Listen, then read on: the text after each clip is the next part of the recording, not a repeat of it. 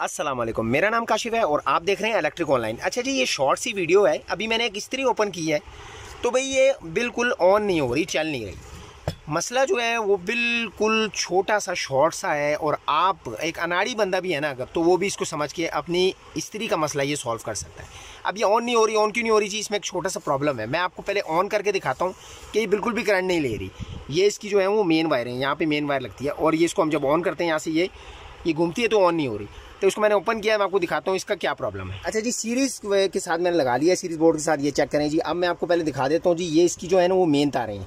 तो इसकी मैं मेन तारों के साथ ये जैसी तार लगाता हूँ तो ये देखें जी, यहाँ से मैंने इसको जो ऑन किया तो ये ऑन नहीं हो रही। हालाँकि मैं आपको दिखा दूँ, इसका एलिमेंट जो है वो बिल्कुल ठीक है, ये देखें जी। बिल्कुल सही वर्किंग कर रहा है इसका एलिमेंट तो भाई, ये देखें जी, यहाँ से मैंने दो तारें लगाई, लेकिन इसने कोई रिस्पॉन्ड नहीं किया। ये इसकी मेन वायर है। ये देखें जी, ये ये मैंने इसको यहाँ से ऑन की तो ही नहीं हो रही। अब यही काम, ये आप चेक कीजिएगा। पहले मैं आपको दिखा दूँ जी। फॉल्ट इसमें जो है हमने पकड़ा है, वो ये है जी। ये देखें जी, ये छोटा सा एक आपको रेजिस्टेंस नज़र आ रही होगी इसके अंदर, छोटी सी, जो कि इसके एलिमेंट को बचाने के लिए होती है, जिसको हम सादे अल्फाज में भाई हम कहते हैं फ्यूज़ है भाई। तो ये इसका फॉल्ट है।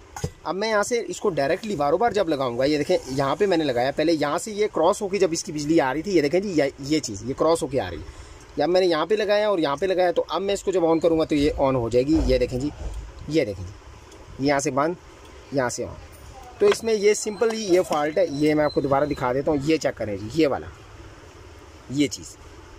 ये इसका छोटा सा रेजिस्टेंस एक लगा हुआ है। तो हमने क्या करना है, मेरे पास ये देखें जी, ये कॉपर वाली वायर पड़ी हुई है।